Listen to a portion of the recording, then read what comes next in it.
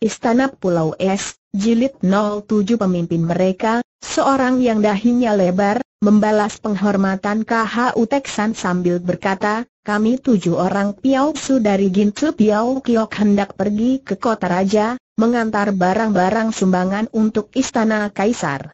Tidak tahu siapakah Sam Wei yang terhormat dan hendak pergi ke manakah? KHU Taksan maklum bahwa orang itu sengaja mempergunakan nama istana kaisar untuk menggertak kalau-kalau ada niat jahat hendak merampok kereta, maka ia tersenyum dan berkata, harap Cui tidak usah khawatir. Aku orang KHU bukanlah perampok, maka tidaklah perlu Cui menyebut nama istana kaisar. Hahaha. Akan tetapi pemimpin Piao Su itu cepat berkata dengan suara tegas, kami harap KHU Sicu tidak mentertawakan kami karena sesungguhnya lah bahwa yang kami kawal adalah barang-barang sumbangan dari para pedagang dan pembesar daerah kami untuk Kaisar. Tertariklah hati KHU Texania adalah seorang panglima dan bahkan seorang yang mempunyai kedudukan cukup penting di kota raja, sebagai pembantu Menteri Kam, maka cepat dia bertanya, maafkan kalau tadi aku salah duga. Akan tetapi ada terjadi urusan apakah di kota raja maka para pedagang dan pembesar mengirim sumbangan kepada kasar? Aih, agaknya Sam telah lama meninggalkan selatan pimpinan Piao Su itu berseru heran. Kota raja telah ramai dan dalam keadaan pesta pora karena kaisar akan merayakan pernikahan seorang di antara putri-putri istana. Siapakah yang tidak mendengar bahwa kaisar akan menghadiahkan putri tercantik, kembangnya istana, Putri Song Hang KWI kepada Raja Yuchen? Oh, Susyok. Kau, kau, kenapakah? Tiba-tiba Teksan meloncat turun dari kudanya dan menangkap kendali kuda yang diduduki Hanki karena tiba-tiba saja pemuda itu duduk miring di atas kudanya dan kudanya hendak lari karena kendalinya tidak dikuasai Hanki. Ah, tidak apa-apa, Hanki berkata. Ia sudah dapat menguasai kembali hatinya yang terguncang hebat mendengar keterangan Piao Su itu. Akan tetapi wajahnya menjadi pucat sekali dan dahinya berkeringat. Mari, kita melanjutkan perjalanan secepatnya. KHU Teksan masih merasa heran menyaksikan pemuda itu yang tiba-tiba menjadi pucat dan muram wajahnya. Akan tetapi dia tidak berani bertanya dan mendengar ajakan Hon Kit dia berkata, rombongan Piao Su ini mengawal barang-barang sumbangan untuk istana. Sudah menjadi kewajiban kita untuk membantu mereka menyelamatkan barang-barang ini sampai ke istana. Sebaiknya kita melakukan perjalanan bersama mereka. Alasan itu kuat sekali dan Honki yang tidak ingin terbuka rahasia hatinya mengangguk. Tujuh orang Piao Su itu girang sekali ketika mendengar pengakuan KHU Teksan bahwa dia adalah seorang panglima sang dan hendak memperkuat pengawalan atas barang-barang yang hendak disumbangkan kepada Kaisar. Maka berangkatlah rombongan yang kini terdiri dari sepuluh orang itu. Di sepanjang perjalanan Maya mendapat kenyataan betapa terjadi perubahan besar sekali atas diri Hanki. Dia membenci pemuda yang dianggapnya sombong itu, akan tetapi entah mengapa dia selalu memperhatikan Honki. Tanpa disadarinya, dia selalu memandang dan memperhatikan pemuda yang dibencinya itu sehingga delapan orang teman seperjalan dan yang lain seolah-olah tidak tampak lagi olehnya. Karena selalu menaruh perhatian secara diam-diam inilah yang membuat Maya dapat melihat perubahan hebat atas diri Honki. Pemuda itu kelihatan murung sekali dan seperti bunga melayu dan mengering kekurangan air. Pemuda itu tidak lagi mau bercakap-cakap, selalu menjauhkan diri di waktu mereka beristirahat, duduk menjauh lalu termenung dengan alis berkerut. Bahkan Honki jarang sekali mau makan kalau tidak didesak-desak oleh Teksan yang juga merasa heran dan khawatir akan keadaan pemuda itu yang selalu mengelak kalau ditanya. Di waktu malam Maya melihat betapa Hanki tidak pernah tidur, duduk melamun menggigit kuku jari tangan atau menggigiti sebatang rumput yang dicabutnya dari dekat kaki. Bahkan sering kali Maya mendengar dia menarik napas panjang dan mengeluh lirih, keluhan yang mengandung rintihan seolah-olah pemuda itu merasa berduka sekali, rasa duka yang ditahan-tahan dan hendak disembunyikan dari orang lain. Kadang-kadang Maya melihat pemuda itu mengusapkan punggung tangannya ke depan mata sehingga ia dapat menduga bahwa pemuda itu telah menangis sungguh pun tak pernah ia dapat melihat air matanya. Memang amat berat penanggungan yang diderita di hati Hanki. Ketika mendengar penuturan Piao Su tentang hendak dinikahkannya Putri Song Hang KWI, seolah-olah ada petir menyambar kepalanya, langsung memasuki jantung, menghanguskan hati dan menghancurkan perasaannya. Hang Kwei, kekasihnya itu akan dikawinkan dengan Raja Yu Chen. Membayangkan wanita satu-satunya di dunia ini yang dicintanya sepenuh hati dan nyawanya menjadi istri orang lain membuat Han Ki merasa tertusuk perasaannya dan ia seolah-olah kehilangan gairah hidup. Kalau saja Hang Kwei adalah seorang gadis biasa, tentu dia tidak akan segelisah itu. Kalau sudah sama mencinta, tentu dia akan dapat mengajak Hang Kwei pergi jauh meninggalkan segala keruwetan dunia.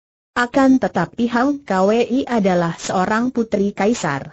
Mencintanya saja sudah merupakan hal yang langka, meminangnya akan merupakan hal yang amat sukar dan dia hanya dapat mengandalkan bantuan Menteri Kam. Kini Hang Kwei sudah dijodohkan dengan orang lain, bukan sembarang orang melainkan Raja Yuchen sendiri. Bagaimana mungkin ia akan dapat berdaya memiliki kekasihnya? Mengajaknya lari? Tidak mungkin. Habis, apa yang akan ia lakukan? Han Ki tidak dapat menjawab pertanyaannya sendiri dan dia makin gelisah, berduka dan putus harapan. Keadaan Hon Ki yang makin pucat dan makin berduka serta wajahnya yang selalu murung itu mendatangkan perasaan aneh sekali di hati Maya. Kini melihat keadaan pemuda itu, lenyap sama sekali rasa benci di hati gadis cilik ini, berubah menjadi perasaan iba dan khawatir. Ia seakan-akan terseret ke dalam lembah duka, terbawa oleh arus kedukaan yang ditimbulkan Honki. Berkali-kali secara berbisik-bisik ia bertanya kepada KHU Teksan, namun Panglima ini pun tidak tahu apa yang menyebabkan pemuda itu kelihatan begitu bersedih. Untuk bertanya, dia tidak berani. Sebagai seorang yang berpengalaman KHU Teksan maklum bahwa seorang pemuda aneh seperti Honki, kalau menyimpan rahasia, biar dipaksa sampai mati sekalipun tidak akan membuka rahasianya itu, dan kalau ditanya, tentu akan menimbulkan ketidaksenangan. Maka dia hanya memandang dengan khawatir, diam-diam mengambil keputusan untuk melaporkan sikap Honki yang penuh duka itu kepada gurunya kelak.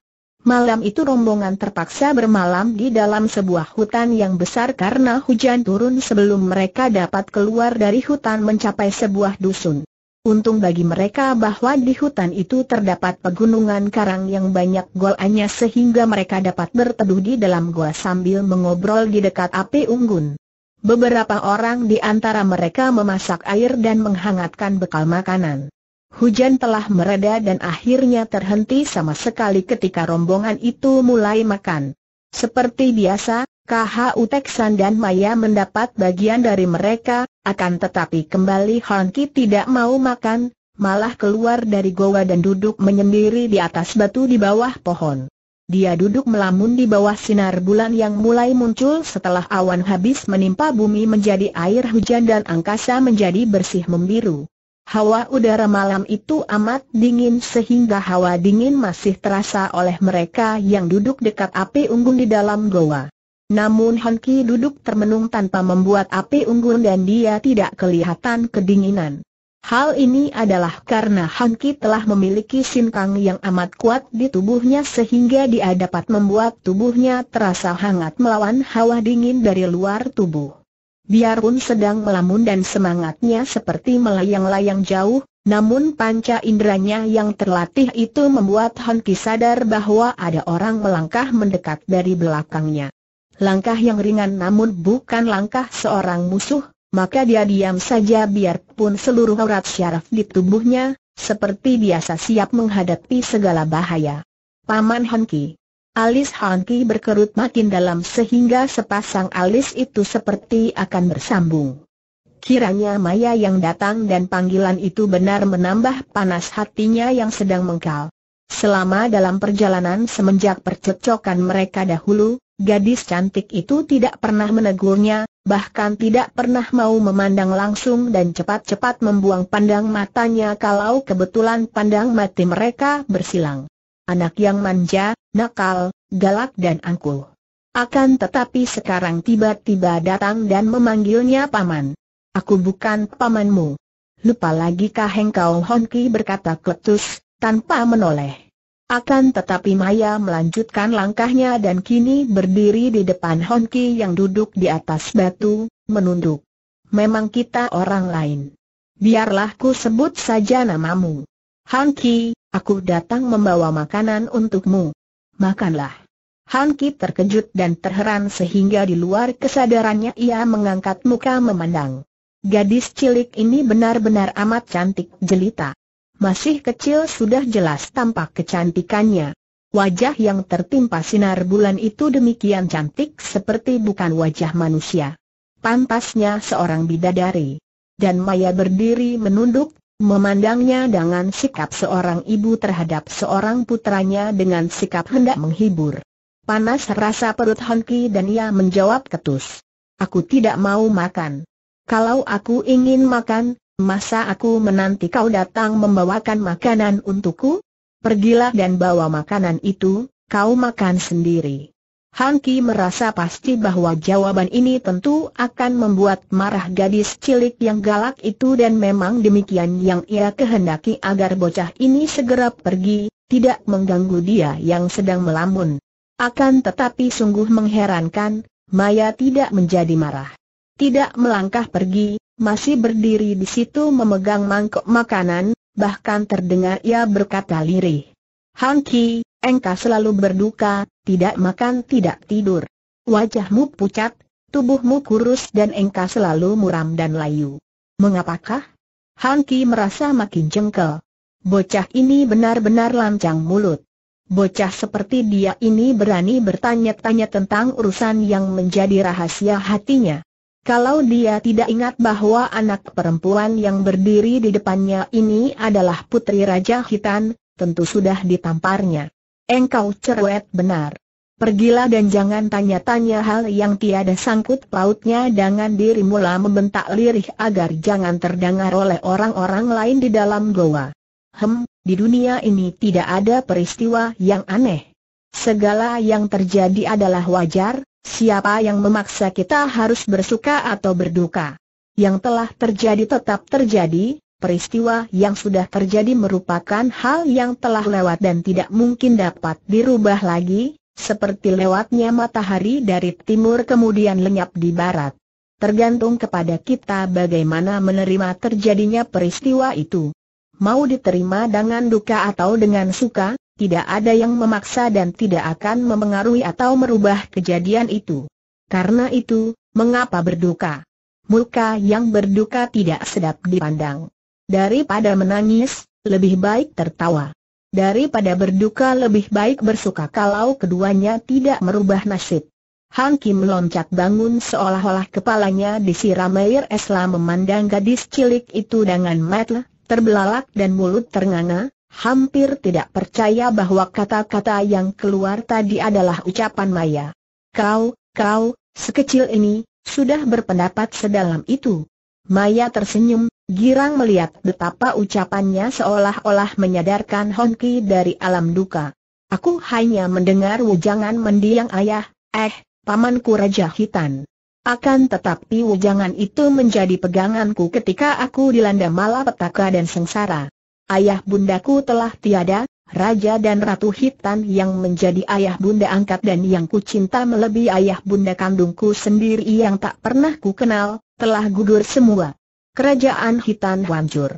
Semua milikku, semua keluargaku terbasmi habis. Adakah kesengsaraan yang lebih hebat daripada yang kualami? Namun aku tidak terpendam atau tenggelam kedukaan seperti engkau. Karena aku berpegang kepada wajangan Raja Hitan tadi. Biar aku menangis dengan air mata darah, semua milikku takkan kembali, semua keluargaku takkan hidup lagi. Maka, perlu apa menangis? Sejenak Hanki memejamkan matanya dan teringatlah ia akan semua nasihat dan wajangan Bukek Siansu, gurunya. terbukalah mata hatinya dan sadarlah dia betapa selama ini ia benar-benar telah bersikap bodoh dan lemah. Ia terharu sekali dan tiba-tiba ia memegang pinggang Maya dengan kedua tangan, mengangkat tinggi-tinggi tubuh Maya sambil tertawa bergelak. Hahaha. Seorang paman baru sadar setelah mendengar nasihat keponakannya. Betapa lucunya. Terima kasih, Maya, anak manis. Terima kasih banyak. Akan tetapi tubuh Maya meronta dan kedua kakinya menendang-nendang marah. Turunkan aku. Aku bukan anak kecil. Hanki tersenyum dan menurunkan tubuh Maya. Benar-benar anak ini luar biasa sekali. Sikapnya aneh, kadang-kadang bersikap seperti orang dewasa. Dan aku bukan keponakanmu. Ingat Hanki. Engkau bukan pamanku melainkan sahabatku. Sahabat baik. Nah, makanlah. Hanki duduk di atas batu sambil tersenyum, menerima mangkok itu dan makan dengan lahapnya. Maya pergi dari situ dan kembali lagi membawa makanan lebih banyak yang semua disikat habis oleh Honki. Pemuda itu baru sekarang merasa betapa lapar perutnya dan betapa tubuhnya amat membutuhkan makanan. Kemudian, setelah minum air dan arak yang disediakan Maya sehingga perutnya terasa penuh kekenyangan, dia merebahkan diri telentang dan tidur pulas. Dia tidak tahu betapa Maya duduk di dekatnya, memandang wajahnya sambil tersenyum puas. Tidak tahu betapa Maya membuat api unggun tidak jauh dari situ sebelum meninggalkannya, masuk ke dalam goa untuk tidur ditemani KHU Teksan semenjak malam itu Honki dapat menguasai dirinya lagi. Dia makan dan tidur seperti biasa sesuai dengan kebutuhan tubuhnya, tidak lagi kehilangan semangat sehingga wajahnya tidak pucat lagi, tubuhnya juga pulih. Kini hubungannya dengan Maya menjadi baik dan bahkan akrab, Seringkali mereka duduk bercakap-cakap dan Honki menceritakan pengalaman-pengalamannya yang luar biasa di dunia Kang Ou, atau kadang-kadang memberi petunjuk ilmu kepada gadis cilik itu. Akan tetapi tak mungkin dia dapat melupakan hal yang mengecewakan hatinya, yaitu tentang Song Hang Kwei yang akan dikawinkan dengan Raja Yu Chen. Kalau teringat kepada kekasihnya, mau tidak mau Honki termenung. Hanya kelincahan Maya saja yang selalu membuyarkan kedukaan ini dan mendatangkan kegembiraan di hatinya. Sementara itu, rombongan telah melakukan perjalanan jauh dan pada suatu hari mereka memasuki sebuah hutan besar di sebelah utara tapal batas kota raja. Hutan ini sudah lama terkenal sebagai daerah yang berbahaya karena di situ sering kali dihuni oleh perampok-perampok ganas yang menghadang perjalanan yang menghubungkan kota raja dengan daerah utara.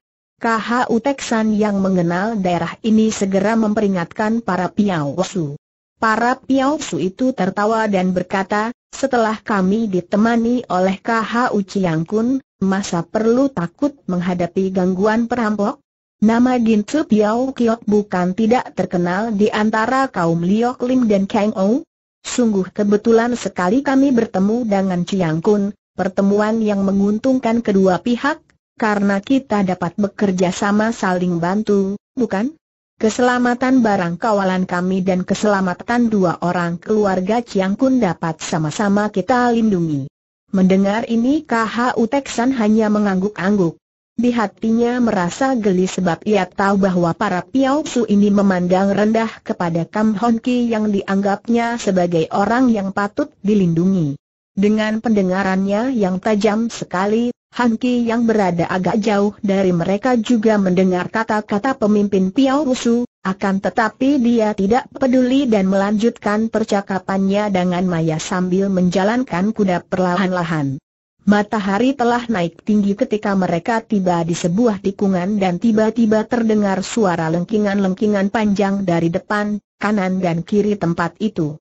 Para Su cepat menghentikan kereta kawalan mereka, mencabut golok dan siap karena mereka maklum bahwa suara itu adalah tanda-tanda yang dikeluarkan oleh para perampok. Dengan golok di tangan, tujuh orang Su itu kelihatan gagah sekali. Golok mereka terbuat daripada perak, mengkilap putih tertimpa sinar matahari. Tangan kiri bertolak pinggang, tangan kanan memegang golok melintang depan dada, kedua kaki berdiri tegak di kanan kiri agak melebar, mati mereka bergerak-gerak mengerling ke kanan kiri penuh kewaspadaan. Melihat semua Piao Su telah turun dari kuda, KHU Teksan juga meloncat turun dan menggiring semua kuda mereka ke pinggir, mencangcangnya pada pohon. Kam Hon Ki bersikap tidak peduli, malah membawa kudanya ke kanan, meloncat turun dan duduk di atas batu di bawah pohon dengan kepala menunduk. Maya memandang tegang kepada para piawasu.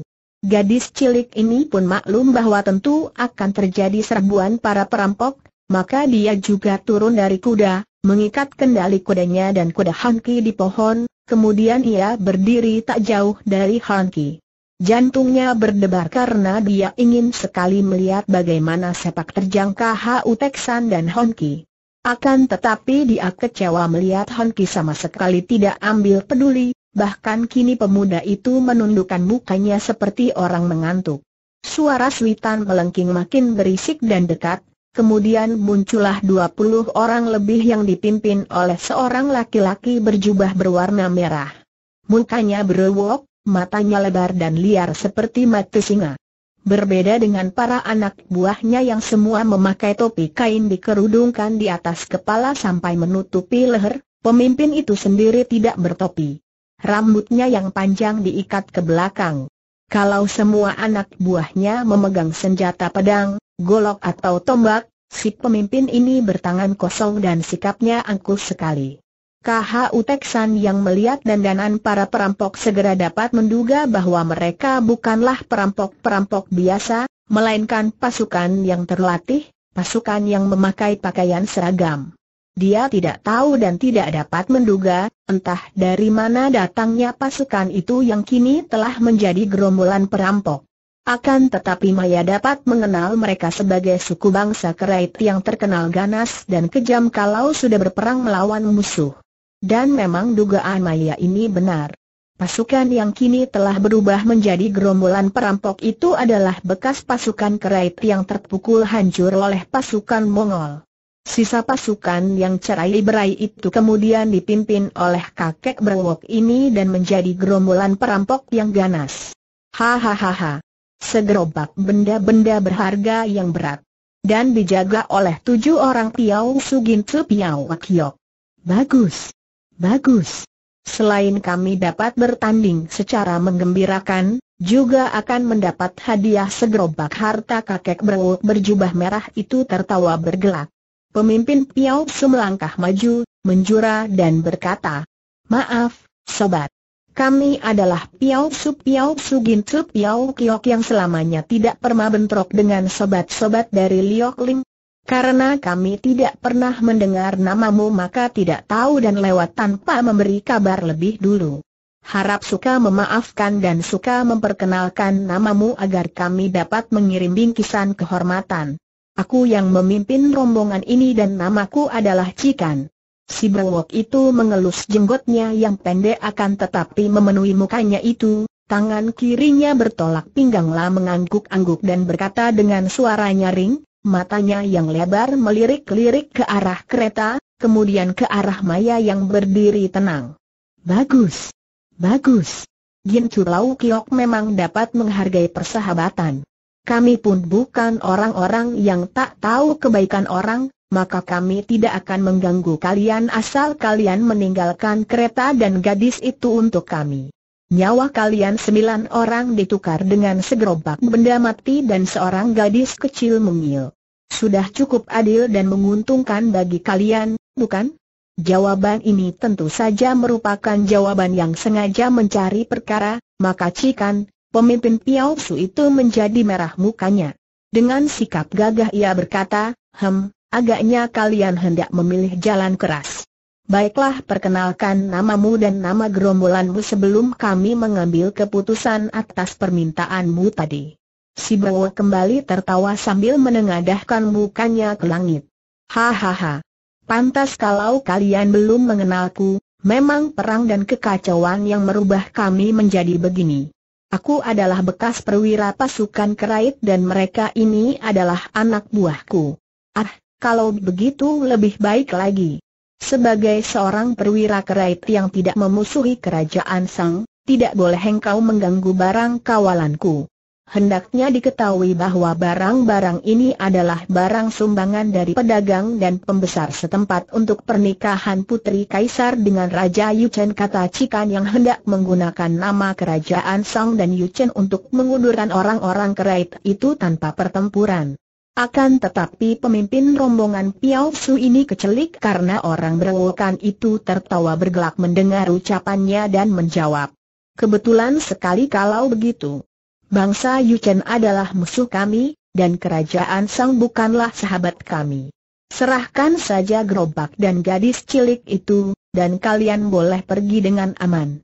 Perampok busuk Cikan menjadi marah sekali dan tampak sinar berkilauan ketika golok peraknya menyambar ke arah leher si berewok, mengeluarkan angin yang berdesingan bunyinya kakek bangsa kerait itu sambil tertawa miringkan tubuhnya dan tangan kirinya bergerak cepat menangkis ke arah sinar putih itu dengan jari terbuka. Krek! Cikan terkejut bukan main dan sambil berseru kaget ia meloncat ke belakang, memandang golok peraknya yang sudah patah. Dia adalah murid kepala dari Gintu Piao Kiok, akan tetapi dalam segerakan saja orang kerait itu telah mematahkan goloknya hanya dengan tangkisan tangan kosong. Sekarang dapat dimengerti mengapa bekas perwira kerait itu berani maju dengan tangan kosong, kiranya tangannya itu memiliki keampuhan melebihi golok atau pedang. Hahaha, bangsa Piao Surendahan berani membantah perintahku orang berwok itu berkata sambil tertawa. Aku adalah Ganya, jagoan kerait yang belum pernah bertemu tanding. Para Piao Su menjadi gentar, akan tetapi mereka tentu saja tidak akan menyerahkan gerobak yang mereka kawal dan akan melindunginya dengan nyawa mereka. Adapun KHU Teksan yang menyaksikan kelihayan orang kerait yang bernama Ganya itu dan mendengar namanya, teringatlah ia karena ketika ia menjadi panglima di Yuchen, Pernah ia mendengar nama ini yang kabarnya memiliki kepandaian hebat dan tenaga yang luar biasa lama maklum bahwa para Piao Su takkan mampu menang menghadapi orang kuat itu, maka ia meloncat maju dan membentak. Manusia sombong, akulah lawanmu sambil meloncat, KHU Teksan sudah mengeluarkan senjatanya yang ampuh, yaitu sebuah kipas. Sebagai murid Menteri Kam Leong, tentu saja ia mewarisi ilmu silat yang ampuh ini. Di antara keturunan suling emas, yang menuruni kedua ilmu silat sakti pendekar itu hanyalah Menteri Kam Leong, yaitu ilmu silat suling emas Pat Sian Kiam Sut, ilmu pedang delapan dewa, dan ilmu silat Loh Aisan Hoat, ilmu kipas pengacau lautan. Karena kedua ilmu ini adalah ilmu yang hebat-hebat dan sukar dipelajari, maka KHU Teksan hanya memperdalam ilmu kipasnya saja sehingga dia menjadi seorang ahli ilmu silat kipas Lohei San Hoat. Ilmu silat Lohei San Hoat ini bukanlah ilmu sembarangan. Biarpun hanya dimainkan dengan sebuah kipas, namun kipas itu lebih berbahaya daripada senjata tajam yang bagaimanapun juga. Gagang dan batang-batang kipas itu merupakan alat-alat penotok jalan darah yang banyak jumlahnya, sedangkan kain kipasnya sendiri dapat dikebutkan dan mendatangkan angin yang mengacaukan lawan. Terbuka maupun tertutup kipas itu dapat menjadi alat penyerang maupun penangkis yang ampuh, apalagi kalau dimainkan oleh seorang ahli seperti KHU Teksan yang memiliki ilmu kepandaian hebat. Begitu melat senjata aneh ini menyambar, Ganya berseru kaget. Sebagai seorang berilmu tinggi, dia pun sudah mengerti akan kehebatan lawan. Maka tidak seperti tadi, kini dia sama sekali tidak berani menangkis, hanya mengelak kemudian kedua tangannya bergerak, yang kiri menangkis lengan lawan yang memegang kipas karena dia tidak berani menangkis kipasnya, yang kanan mencengkeram ke arah muka lawan. Gerakannya cepat dan mantap, Tanda bahwa kepandaiannya memang tinggi dan tenaganya besar. Melihat Carol lawan mengelak dan balas menyerang, KHU Texan berlaku hati-hati. Dia maklum bahwa lawannya memang benar-benar hebat, maka ia membalikan kipasnya dengan pemutaran pergelangan tangan, menggunakan ujung cabang kipas menotok telapak tangan kiri si berewok, sedangkan lengan kirinya sengaja ia gerakan menangkis cengkeraman tangan kanan ganya. Duk Ganya dapat menyelamatkan tangan kirinya yang tertotok, akan tetapi dia sengaja mengadu lengan kanannya dengan lengan kiri lawan. Dua buah lengan yang sama kuat dan mengandung getaran tenaga sinkang bertemu, membuat keduanya terhuyung ke belakang. Ganya memandang terbelalak dan kaget, sebaliknya KH Uteksan memandang kagum. Jarang ada orang yang dapat mengimbangi tenaga singkangnya, akan tetapi lawan ini agaknya tidak kalah kuat olehnya. Maka ia menerjang lagi dan terjadilah pertandingan yang amat dahsyat dan seru antara kedua orang gagah itu. Melihat betapa pemimpin mereka sudah bertanding, anak buah perampok itu berteriak dan maju menyerbu, disambut oleh Cikan yang sudah mengambil senjata baru dan enam orang temannya. Perang kecil terjadi dengan ramainya. Senjata tajam berdemcingan bertemu lawan, teriakan-teriakan dan maki-makian saling susul menyeling suara berdebuknya kaki mereka yang sedang bertanding mengadu nyawa. Maya berdiri memandang dengan kagum ke arah KH Uteksan hebat memang penolongnya itu, permainan kipasnya indah sekali dan gerakannya amat kuat. Akan tetapi ia menjadi gemas dan penasaran melihat betapa Kam Hon Ki masih saja duduk di atas batu di bawah pohon seperti tadi, malah kini pemuda itu menggigiti rumput yang dicabutnya dari dekat kakinya, duduk menggigiti batang rumput sambil termenung dengan alis berkerut. Memang saat itu Hon Ki kembali teringat akan kekasihnya yang makin sering diingatnya setelah perjalanan mendekati kota raja. Eh, Kenapa engkau malah melamun saja Maya yang tidak sabar lagi mendekati Han Ki, menegur dan mengguncang pundaknya. Lihat, Paman KH Uteksan melawan seorang yang lihai sekali sedangkan para Piao Su dikeroyok banyak perampok. Han Ki seperti baru sadar dari alam mimpi. Akan tetapi ia hanya menoleh ke kanan memandang pertandingan antara KH Uteksan dan Ganya. Pada saat itu seorang anggota perampok yang agaknya ingin membantu pemimpinnya dan menyerbu Teksan dari belakang kena disambar dadanya oleh ujung batang kipas sehingga perampok ini terbanting ke belakang, roboh dan merintih-rintih. KH Uciang pun tidak akan kalah kata Honki setelah memandang sebentar, lalu kembali menunduk menggigiti batang rumput. Memang di dalam hatinya pemuda ini merasa enggan untuk membantu para Piao Su menghadapi perampok-perampok itu. Yang akan dirampok adalah benda-benda yang akan dijadikan barang sumbangan atas menikahnya Raja Yu Cendan. Sang Hang KWI, kekasihnya. Karena itu dia tidak peduli. Kalau mau dirampas para perampok barang-barang yang menyebalkan hatinya itu, biarlah. Kembali Maya mengguncang pundaknya. Han Ki, lihatlah. Para perampok hendak merampas gerobak. Han Ki menoleh dan benar saja, kini sebagian daripada anak buah perampok ada yang mendekati gerobak berisi barang-barang berharga, bahkan di antara mereka berkata nyaring sambil terkekeh, mari kita naikkan gadis itu ke atas kereta dan sekalian kita bawa pergi. Kini lima orang perampok tinggi besar sambil tersenyum menyeringai datang menghampiri Maya yang berdiri tegak dan siap melakukan perlawanan. Melihat ini, Han Ki menggerakkan tangan ke bawah, menggenggam pasir kasar dan mengayun tangan itu ke arah para perampok. Akibatnya hebat. Lima orang perampok yang sudah mendekati Maya itu roboh berpelantingan ke kanan kiri, mengadu-adu karena pasir-pasir kasar itu menembus kulit dan menancap di dalam daging lengan-lengan mereka. Perih pedih panas gatal rasanya.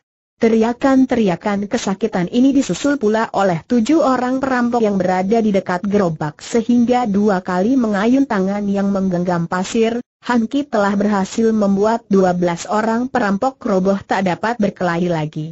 Maya berdiri terbelalak. Dia menjadi heran dan bingung hanya melihat ada sinar kehitaman menyambar dua kali dibarengi desingan angin yang datang dari arah Honki dan perampok-perampok itu sudah roboh. Ilmu sihirkah ini? Gerakan Honki sedemikian cepatnya sehingga Maya tidak dapat mengikutinya dengan pandang mata. Menyaksikan robohnya dua belas orang kawan mereka secara aneh itu, para perampok yang lain menjadi gentar dan marah. Demikian pula pimpinan perampok, si Blowok yang lihai itu.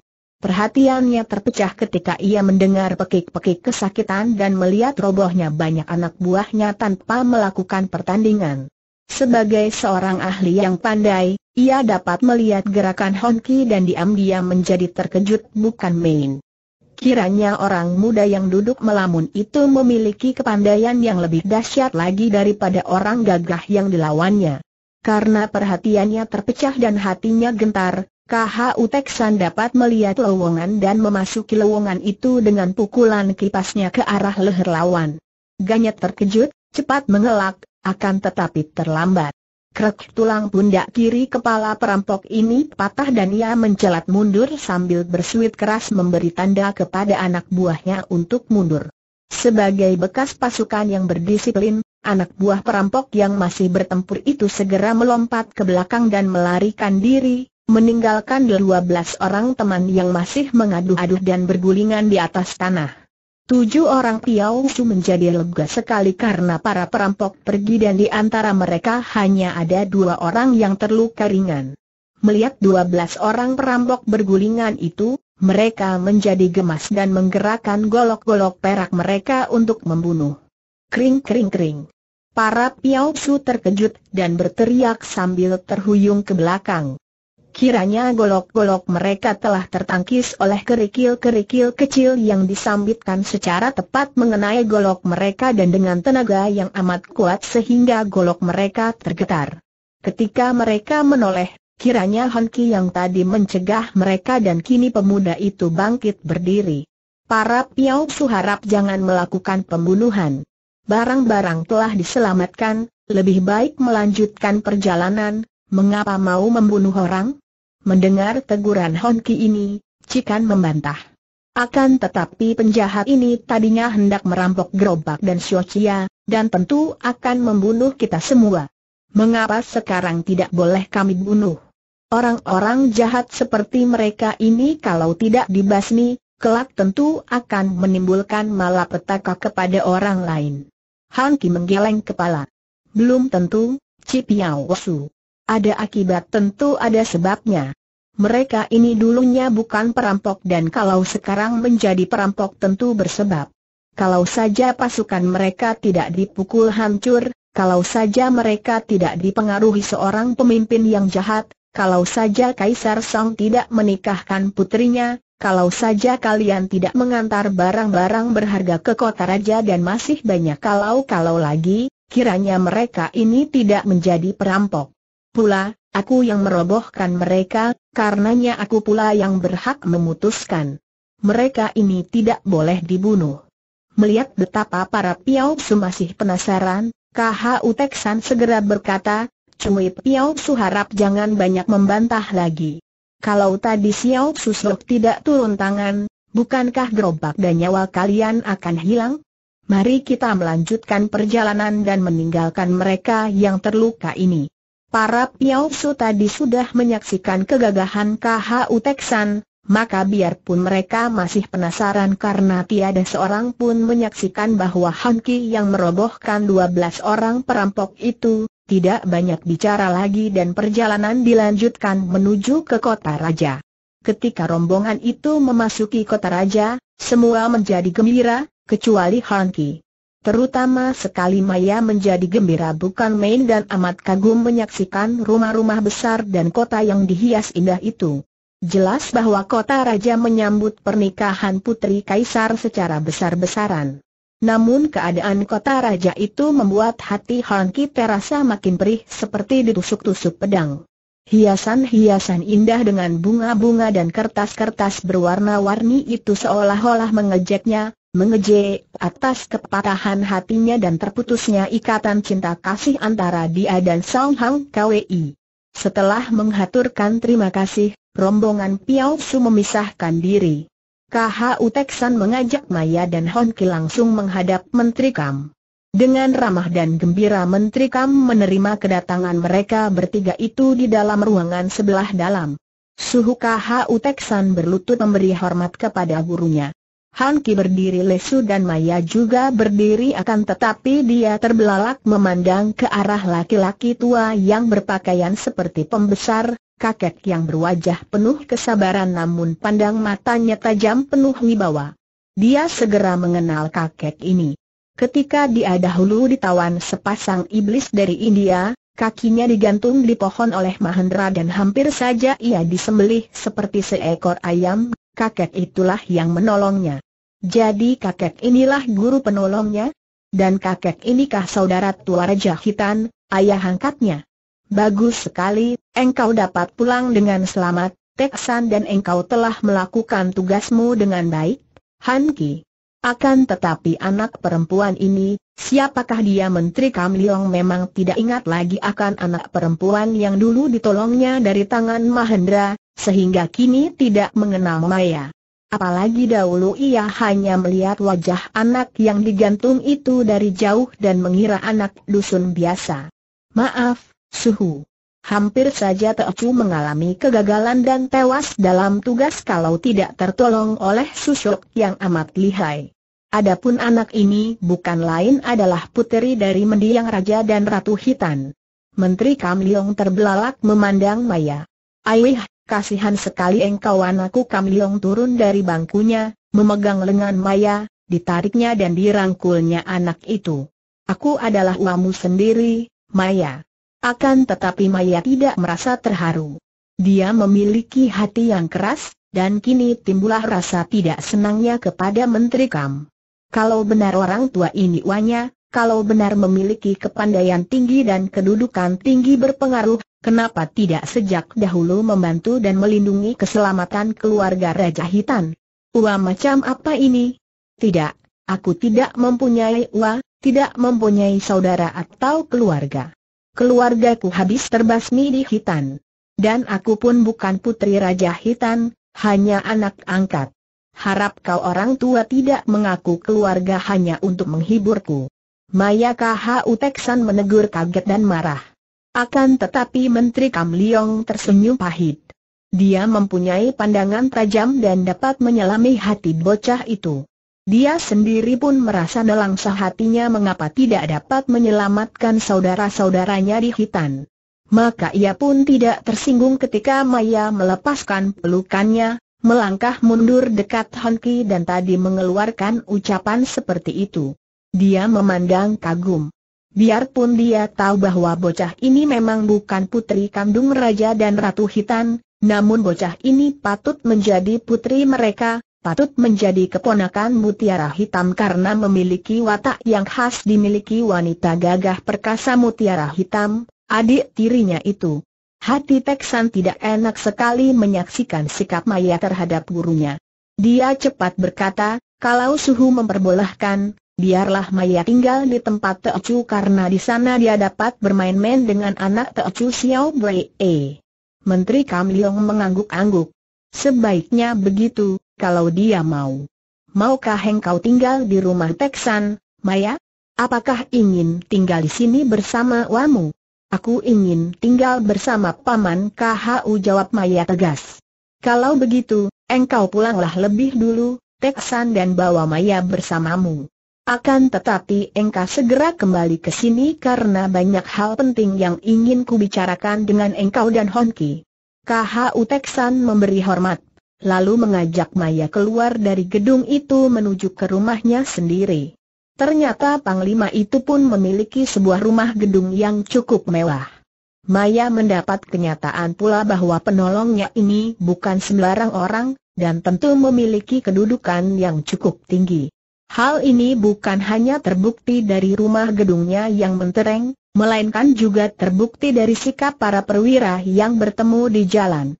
Semua menghormat kepada Panglima KHU yang masih berpakaian preman itu.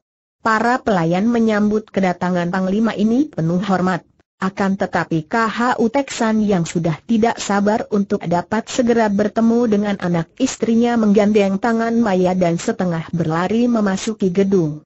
Di sebelah dalam disambutlah dia oleh seorang wanita cantik dan seorang anak gadis cilik yang cantik jelita pula. Ayah anak perempuan yang usianya lebih muda dua tahun daripada Maya itu dengan sikap manja lari menghampiri ayahnya. Teksan tertawa. Disambarnya anak itu dan diangkatnya tinggi-tinggi, lalu dipeluk dan dicium pipinya. Hahaha, Xiao Wei, engkau sudah begini besar sekarang. Kemudian suami ini saling pandang dengan istrinya, penuh kerinduan dan penuh kemesraan yang tak dapat mereka perlihatkan di depan dua orang anak perempuan itu. Hanya pandang mati mereka yang saling melekat mesra mewakili tubuh mereka. Maya, inilah bibimu kata Teksan yang melanjutkan. Niochu, dia ini adalah Putri Maya, Putri mendiang Raja dan Ratu Hitan. Ayah istri KH Chiang Kun menghampiri dan mengelus rambut kepala Maya. Anak ini menahan-nahan air matanya yang hendak runtuh sejak tadi. Melihat betapa Xiao Blee disambut mesra oleh kasih sayang ayahnya, dia teringat akan nasib diri sendiri. Dahulu pun ayahnya, Raja Hitan, amat cinta kepadanya. Akan tetapi sekarang, dia tidak punya siapa-siapa. Ia menjadi makin terharu setelah tangan halus bibinya mengusap rambutnya. Maya, inilah Xiao Bue, anakku. Bermainlah dengan dia dan anggap dia adikmu sendiri. Xiao Bue, inilah cucimu, Maya. Xiao Bue diturunkan dari pondongan ayahnya. Gadis cilik ini tersenyum manis dan ramah kepada Maya, menghampirinya dan memegang tangannya. Enci Maya. Begitu bertemu hati Maya telah tertarik dan suka sekali kepada Xiao Bue. Dia pun lupa akan kedukaannya, merangkul pundak Xiao Bue dan berkata, Adik Xiao Bue. Enci Maya, Mari kita main-main di taman. Di kolam taman terdapat ikan baru. Lucu sekali, sisiknya seperti emas, ekornya seperti selendang sutera, tubuhnya seperti katak dan kedua matanya membengkak dan mencendol keluar di atas selalu memandang langit dua orang anak perempuan itu tertawa-tawa dan berlarian menuju ke taman. Setelah kedua orang anak itu pergi, barulah suami istri yang saling mencinta dan sudah berpisah lama ini dapat menumpahkan rasa rindu mereka. Mereka saling menubruk, berciuman, dan tanpa berkata-kata Teksan melingkarkan lengan kanan di pinggang yang ramping itu kemudian mereka berdua berjalan memasuki kamar. Tak lama kemudian KHU Teksan sudah kembali ke gedung Menteri Kam yang duduk berdua dengan Honki. Pemuda itu kelihatan lebih murung lagi, wajahnya pucat dan matanya sayu. Aku sudah mendengar penuturan Honki tentang peristiwa yang terjadi dan menimpa kalian, Menteri Kam berkata setelah muridnya duduk. Memang semua itu telah diatur oleh, Hem, Sumakiat. KHU Teksan mengangguk-angguk. Suhu, kalau tidak salah dugaan Teocu, semua perbuatan yang dilakukan oleh Siang Keanli terhadap Teocu hanyalah untuk memukul Suhu. Betulkah? Menteri itu menghela napas panjang dan mengangguk. Benar demikian. Orang itu sampai kini masih saja belum dapat melenyapkan rasa benci dan dendam yang meracuni hidupnya sendiri. Diam-diam dia telah bersekongkol dengan pasukan-pasukan asing, berusaha memburukan namaku di depan Kaisar dengan bermacam cara. Untung tak pernah berhasil dan Kaisar masih tetap percaya kepadaku. Akan tetapi, Sumakiat masih belum puas juga dan siasatnya yang terakhir ini benar-benar menjengkelkan dan membahayakan. Siasat apa lagi? Suhu tanya KHU Teksan dengan kening berkerut dan hati khawatir. Mempunyai seorang musuh seperti Jenderal Sumakiat benar-benar amat berbahaya karena selain ia tahu betapa tinggi ilmu kepandaian Jenderal itu, juga Jenderal Sumakiat amat licik, curang dan mempunyai pengaruh di antara para taikam dan menteri-menteri yang tidak setia. Dia berhasil membujuk kaisar untuk menyerahkan putri selirnya kepada Raja Yuchen menteri tua itu menggeleng-geleng kepala dan memandang Honki yang menundukkan muka. Hal itu apa sangkut pautnya dengan kita, Su?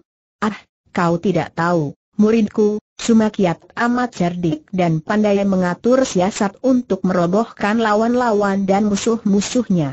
Ketika usaha muridnya yang bernama Siang Keanli itu gagal untuk menangkap dan membunuhmu, muridnya cepat pulang ke kota raja. Raja Yuchen marah-marah karena dibakar hatinya oleh murid itu, mengirim protes kepada kaisar mengapa seorang panglima sang diselundupkan untuk menjadi matu-matu di kerajaan Yuchen dan kembali Sumakiat yang memberikan jasa-jasa baiknya untuk mengangkat diri sendiri di depan kaisar sambil sekaligus berusaha menjatuhkan aku. Dia menyalahkan aku mengenai kemarahan Raja Yuchen kemudian membujuk kaisar agar menyerahkan putri selirnya yang tercantik untuk menjadi istri muda Raja Yuchen. sengaja dia mengusulkan agar Putri Song Hang Kwe yang dihadiahkan. KHU Teksan mendengar tarikan napas panjang dari Hanki dan ia mengerling ke arah permuda itu. Heranlah hatinya melat pemuda itu mengepal tinju dan marah sekali. Sudah lama ia melihat sikap Hanki yang penuh duka, dan kini ia menjadi makin ingin tahu apa gerangan yang menyusahkan hati pemuda sakti ini. Menteri Kam agaknya tahu akan isi hati KHU Teksan, maka ia lalu berkata tenang. Karena engkau merupakan orang sendiri, kiranya Honki tidak perlu menyembunyikan lagi rahasianya. Ketahuilah, Teksan Putri Song Hang KWI yang akan dijodohkan dengan Raja Yu Chen itu adalah kekasih Honki. Dia ingin minta aku mengajukan pinangan kepada Kaisar, akan tetapi ternyata telah didahului Sumakiat karena aku yakin benar mengapa dia justru mengusulkan agar putri itu yang dihadiahkan kepada Raja Yu Chen. Agaknya hubungan cinta kasih antara Hanki dan putri itu telah bocor dan diketahui Sumakiat, maka kembali dia melakukan hal itu untuk memukul Hanki dan tentunya yang dijadikan sasaran terakhir adalah aku sendiri karena Hanki adalah saudara sepupuku. Hem, sungguh mengherankan sekali sikap Sumago Answe itu. Bukankah beliau itu masih ada hubungan keluarga dengan suhu tanya Teksan penasaran. Gurunya mengelus jenggot dan menghela napas panjang melihat betapa Hanki juga memandangnya dengan sinar mata penuh pertanyaan. Memang begitulah, antara Sumakiat dan aku terdapat pertalian keluarga. Ibunya bernama Kam Sian Eng dan ibunya itu adalah adik kandung Kam Busin, ayah Honki ini. Mereka berdua adalah adik diri ayahku, Kam Busong pendekar sakti suling emas. Memang ada hubungan keluarga, dan dia itu masih misanku sendiri. Namun menurut riwayat nenek moyang, keluarga Suma memang selalu memusuhi keluarga kami. Sungguh menyedihkan kalau diingat. Habis bagaimana sekarang baiknya, Su? Menteri itu menggerakkan pundaknya. Bagaimana baiknya? Kita menanti dan melihat saja bagaimana perkembangannya. Kota Raja sudah dalam keadaan pesta karena perjodohan itu telah diumumkan, bahkan besok akan tiba utusan dari Raja Yu Chen, diikuti oleh Panglima Besar dan Guru Negara sendiri, yaitu utusan untuk meresmikan hari pernikahan. Engkau harus hadir pula, Reksan, untuk memperlihatkan kepada Kaisar bahwa engkau benar-benar berdiri di pihak kerajaan Sang, dan kehadiranmu malah merupakan ujian bagi ketulusan sikap orang-orang Yu Chen. Kalau memang mereka menghendaki hubungan baik, setelah Kaisar menyerahkan puterinya tentu mereka tidak akan berani bicara lagi tentang penyelundupan di Yuchen. Kalau terjadi sebaliknya, berarti mereka itu masih mendendam dan tidak mempunyai itikat baik terhadap kerajaan Sang. Dan engkau harus hadir pula dalam perjamuan menyambut para tamu agung itu, Hanki, sebagai pengawalku. Teksan dan Honki menyatakan persetujuan mereka, namun di dalam hatinya Honki merasa makin berduka. Dia harus hadir dalam perjamuan menyambut utusan calon suami Hang KWI. Bahkan tak salah lagi, dia pun harus pula ikut minum arak untuk menghaturkan selamat kepada pengantin. Encik Maya, aku sudah minta perkenan ayah, akan tetapi tetap tidak boleh. Katanya keramaian yang diadakan di istana untuk menyambut dan menghormati utusan Raja Yuchen, yang hadir adalah Kaisar sendiri dan para menteri, para taikam dan orang-orang besar saja. Anak-anak mana boleh turut KH Xiao Blee berkata dengan muka kecewa kepada Maya yang membujuknya agar dia minta perkenan ayahnya diperbolehkan ikut menonton keramaian di istana. KHU Xiao Bwe adalah putri tunggal KHU Teksan, lebih muda satu dua tahun dari Maya. Dia seorang anak perempuan yang cantik mungil, dengan pandang mata lembut namun tajam sekali menandakan bahwa dia memiliki kecerdikan. Sikapnya tidak manja karena memang ayah bundanya pandai mendidik. Seperti juga Maya, sejak kecil Xiao Bwe digembleng ilmu silat dan ilmu sastra oleh ayah bundanya. Berkat ketajaman otaknya, biarpun masih kecil, belum 10 tahun usianya, Xiao Bwe telah memiliki ketabahan dan kepandaian silat yang membuat tubuhnya lincah dan kuat.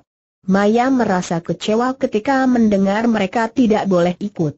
Ahaha, sayang sekali. Aku ingin melihat bagaimana sih rupanya Kaisar Sang dan putri-putrinya, juga ingin sekali melihat utusan Yu Chen. Terutama sekali melihat putri-putri istana yang kabarnya cantik-cantik seperti bidadari. Ih, seperti apa sih kecantikan mereka? Kulihat mereka itu tidak ada yang lebih cantik daripada engkau, Enci Maya. Engkau barulah boleh disebut seorang gadis yang cantik Xiao Bue berkata sungguh-sungguh sambil memandang wajah Maya yang amat mengagumkan hatinya. Aih, sudahlah jangan menggoda, adikku. Dahulu di istana orang tuaku, aku boleh melakukan apa saja. Sekarang melihat ayahmu melarang engkau padahal hanya ingin menonton keramaian, sungguh-sungguh aku merasa penasaran sekali. Apa sih buruk dan ruginya kalau kita ikut menonton? Hem, aku ada akal baik, moi moi. Kalau kau suka, kita akan dapat bergembira sekali dan, hem, kau dengar baik-baik, Maya lalu berbisik-bisik di dekat telinga Xiao Bue. Wajah Xiao Bue berubah dan matanya terbelalak. Ihaha, Enci Maya bagaimana kalau sampai ketahuan? Dengan ibu jari tangan kanannya, Maya menuding dadanya sendiri. Akulah yang akan bertanggung jawab, jangan engkau khawatir. Sambil tertawa terkekeh-kekeh kedua orang anak perempuan itu memasuki kamar mereka dan mengunci pintu. Terdengar mereka berdua masih tertawa-tawa, entah apa yang mereka lakukan dan bicarakan. Apa yang menjadi dugaan Menteri Kam ketika ia menceritakan kepada muridnya memang tepat. Peristiwa yang menimpa diri KHU Teksan di Yuchen, yaitu pecahnya rahasianya sebagai match-match kemudian tertangkapnya oleh rekan-rekannya sendiri di perbatasan, adalah akibat perbuatan Siang Kuan Li yang memenuhi perintah gurunya, Sumakiat. Memang Jenderal Sumakiat ini tidak pernah dapat melupakan sakit hatinya dan kebenciannya terhadap keturunan suling emas. Ketika ia mendapat laporan dari Siang Kuan Li betapa usaha muridnya itu semua gagal oleh mutiara hitam, kemudian oleh Kam Hon Ki, hatinya menjadi makin marah dan penasaran. Maka dia turnyalah siasat baru untuk memukul Hanki dan Menteri Kam Leong yaitu membujuk Kaisar agar mengambil hati Raja Yuchen dengan menyerahkan seorang di antara putri selirnya. Putri Paduka Song Hang KWI terkenal sebagai bunga istana, hal ini bahkan terkenal sampai ke Yuchen. Kalau Paduka menghadiahkan putri itu kepada Raja Yuchen, Paduka akan memetik tiga keuntungan, Demikian antara lain bujukan yang diucapkan Sumakiat yang didukung oleh para taikam. Tiga keuntungan yang bagaimana engkau maksudkan Kaisar bertanya. Pertama, Putri Paduka akan terangkat sebagai seorang junjungan yang dihormati di Yuchen dan mengingat akan keadaan permaisuri Yuchen yang lemah dan sakit-sakit, banyak harapan beliau akan dapat menjadi permaisuri. Kedua, dengan menarik Raja Yuchen sebagai mantu Paduka, mantu yang rendah karena hanya menikah dengan putri selir, berarti Paduka mengangkat kedudukan Paduka jauh lebih tinggi daripada Raja Yuchen.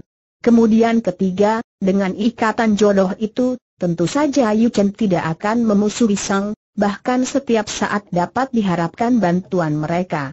Tentu saja Jenderal Sumakiat tidak menyatakan rahasia hatinya bahwa kalau perjodohan itu dilakukan, terutama sekali karena ia ingin menghancurkan hati Kam Hon Ki yang ia tahu dari para penyelidiknya mempunyai hubungan cinta kasih dengan putri itu, dan karenanya ingin pula ia menghantam Menteri Kam melalui Hon Ki.